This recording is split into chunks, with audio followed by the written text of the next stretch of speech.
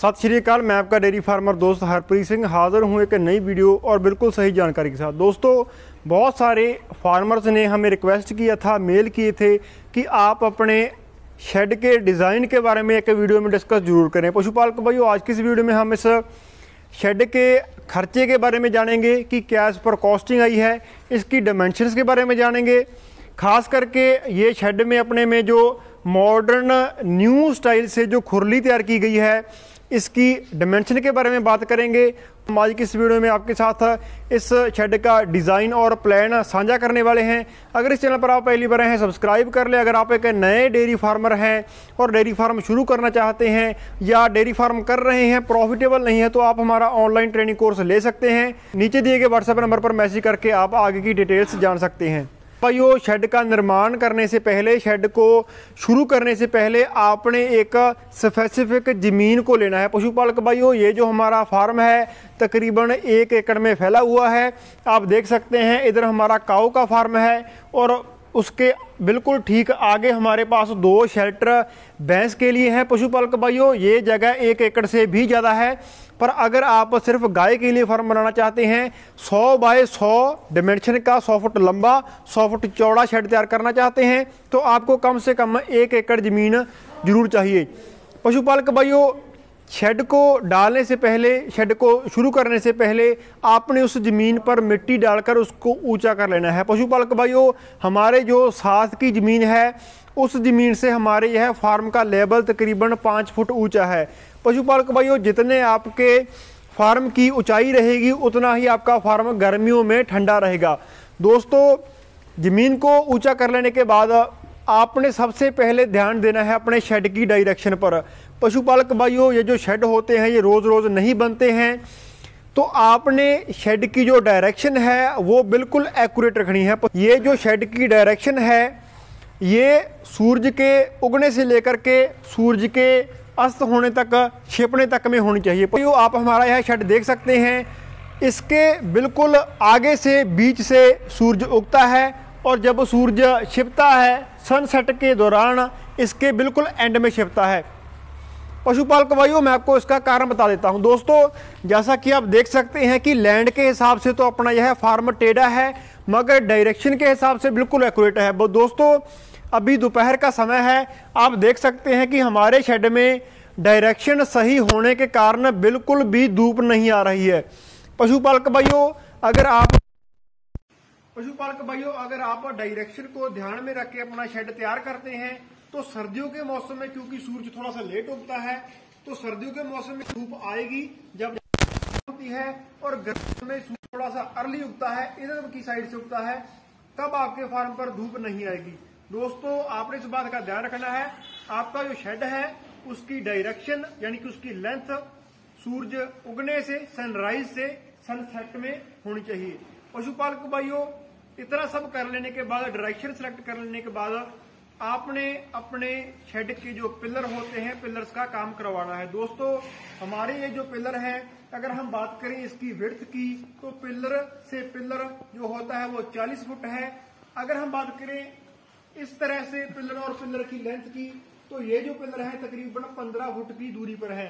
दोस्तों, आप अपने कॉन्स्ट्रक्टर से सलाह करके यह दूरी बढ़ा, घटा भी सकते हैं। तो पिलर्स का काम करवा लेने के बाद आपने अपने फार्म की खुरली का काम करवाना है। दोस्तों, आप देख सकते हैं, ये जो डिज़ाइन है, ये न्यू अपडेटेड मॉडर्न स्टाइल है। दोस्तों, पहले क्या होता था कि हमारे जो फर्श की ज़मीन है और पशु के खड़े रह करके चारा खाने की जो ज़मीन है, ये बिल्कुल समतल रहती थी लेवल रहती। पर दोस्तों, ये जो मॉडर्न डिज़ाइन है, इसमें क्या होता है कि पशु के खड़ा रह करके चारा खाने की जो ज़मीन है, उस ज़मीन से ये जो दीवार आप देख रहे हैं, ये दो फुट ऊँची होगी और उस ज़मीन से ये जो खुरली है, जहाँ पर हमारे पशु का चारा पड़ा हुआ है, आप देख सकते हैं, ये गाय अपना चारा खा रही है। तो ये ज़मीन, उस ज़मीन से तकरीबन एक फुट ऊँची है।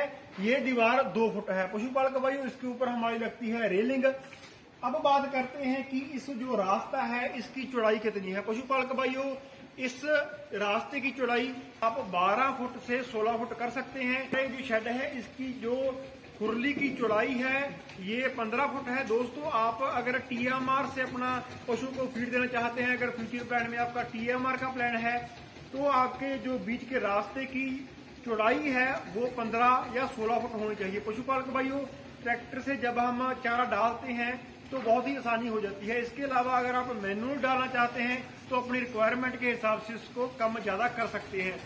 दोस्तों, ये जो रेलिंग होती है, इस रेलिंग में बहुत सारे पशुपालक भाइयों ने पूछा था कि इसके जो बीच का अंतर रहता है, ये कितना होता है? दो शेड की जो रेलिंग होती है, इसके बीच का अंतर 11 इंच होता है। और दोस्तों, ये जो इसकी ऊंचाई है, वो तकरीबन 35 इंच के आसपास है। दोस्तों, इससे हमारे ज़्यादातर पशु जो होते हैं, इससे टच नहीं करते हैं।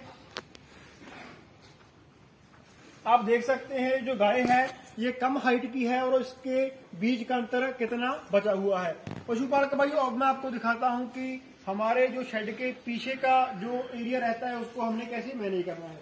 पशुपालक भाइयों, अब हम जान लेते हैं कि शेड के खुरली के जो नीचे का एरिया रहता है लास्ट तक, वो कैसे होता है। पशुपालक भाइयों, ये जो हमारी फर्श होती है, इसकी चौड़ाई 12 फुट होती है। दोस्तों, ये जो फर्श होती है, इसका जो लेवल होता है इसको हम ज़ीरो लेवल फर्श कहते हैं। पशुपालक भाइयों, इसकी जो ढलान है, वो किसी भी तरफ़ नहीं होनी चाहिए। ऐसे में अगर आप इस पर स्क्राइपर लगाते हैं तो आपका स्क्राइपर इसमें बढ़िया से फिट हो जाएगा। दोस्तों, हम इसे मैनुअली इस स्क्राइपर से मैंने करते हैं, पूरा गोबर इस स्क्राइपर से। इसी ड्रेनेज की मदद से हमारे फार्म से बाहर चला जाता है। पशुपालक भाइयों, ये फर्श की डायमेंशन 12 फुट और आगे चल के अगर हम बात करें तो हमारे इस शेड की 100 फुट चौड़ाई में से 15 फुट प्लस 12 फुट तो यहाँ पर कवर हो गई। इसके आगे जो कच्ची ज़मीन है हमारे पशु के बैठने के लिए, वो तकरीबन 30 से 35 फुट होती है। पशुपालक भाइयों, अगर हम बात करें उसके बाहर की ज़मीन की, जो धूप में होती है शेड की छत से बाहर होती है वो तकरीबन 50 फुट के आसपास रहती है। पशुपालक भाइयों, अब बहुत सारे पशुपालक भाई कहते हैं क्यूबिकल्स के बारे में। दोस्तों, अगर हम बात करें एक क्यूबिकल की जो कीमत है, वो हमें तकरीबन पच्चीस सौ रुपए के आसपास पड़ती है। इंस्टॉलमेंट का खर्चा उसके ऊपर रहता है, जो कंक्रीट होता है, उसका खर्चा उसके ऊपर रहता है। दोस्तों, अगर आपके पास, आपके शेड में कच्ची जगह तकरीबन 80 फुट के आसपास रहती है तो आपको क्यूबिकल्स लगाने की ज़रूरत नहीं है दोस्तों। अगर आपके पास मैनुअली हाथ से गोबर उठाने की लेबर नहीं है तो भी आप क्यूबिकल्स के साथ चले जा सकते हैं क्यूबिकल्स को इस्तेमाल कर सकते हैं। भाइयों, हमने अपने फार्म पर सभी पशुओं को खुला छोड़ा गया है।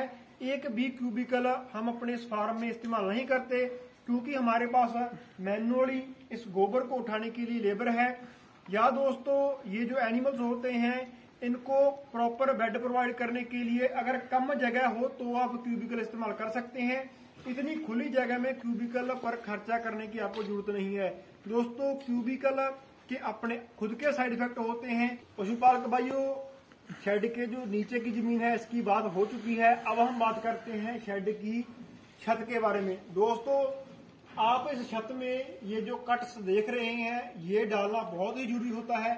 क्योंकि जैसा कि आप सब जानते हैं कि जो गर्म हवा होती है, ये हमारे शेड से या जो गायों की हीट होती है, ये हमारे शेड से नीचे से ऊपर की तरफ़ जाती है। ऐसे में अगर हमारे शेड में कुछ इस तरीके के कट रहेंगे तो हमारे शेड में ह्यूमस क्रेड नहीं होगी। हमारा शेड कूल रहेगा, ठंडा रहेगा। पशुपालक भाइयों, हमारे शेड की जो छत की ऊंचाई है, ये बहुत मैटर करती है हमारे शेड को ठंडा रखने में।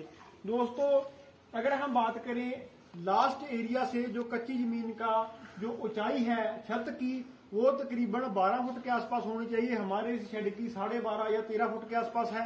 पशुपालक भाइयों शेड के बीच की, यानी कि छत के टॉप की जो हाइट है, उससे हमारे शेड की ग्राउंड लेवल की जो डिफरेंस है, वो तकरीबन सताइस से तीस फुट के बीच होना चाहिए। हमारे शेड की ऊंचाई दोस्तों इसके बिल्कुल सेंटर से तकरीबन 28 फुट के आसपास है।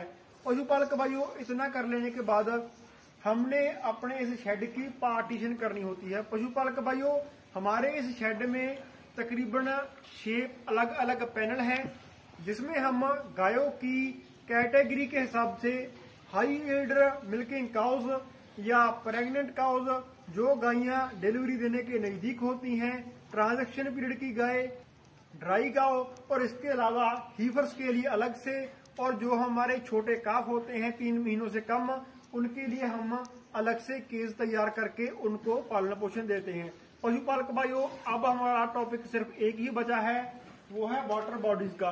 दोस्तों, आप अपने बजट के हिसाब से जो हमारे वाटर बॉडीज होती हैं, यानी कि पानी की खेल होती है, वो आप ऑटोमेटिक भी लगवा सकते हैं, या अगर आपके पास मैनुअल सिस्टम है तो मैनुअल सिस्टम से भी आप सीमेंट के, कंक्रीट के जो खेल होते हैं, वो तैयार करवा सकते हैं।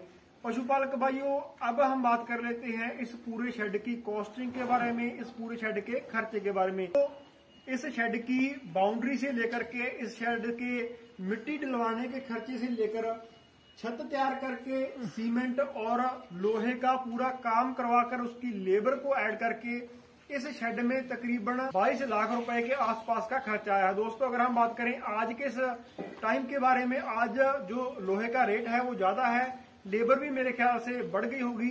तो आज के समय के अनुसार तकरीबन 25 लाख के आसपास आपका खर्चा चला जाएगा। क्योंकि दोस्तों सीमेंट कंक्रीट वगैरह का रेट भी काफ़ी बढ़ चुका है लेबर वगैरह भी आजकल काफ़ी ज़्यादा लग रही है। पशुपालक भाइयों, अगर आप इस तरीके का शेड तैयार करना चाहते हैं तो तकरीबन 25 से 27 लाख रुपए का बजट तैयार करके ही आप अपने शेड का निर्माण शुरू करवाएँ। फ़िलहाल आज की वीडियो में बस इतना ही, मिलते हैं जल्दी ही नई वीडियो के साथ, तब तक के लिए सत श्रीकाल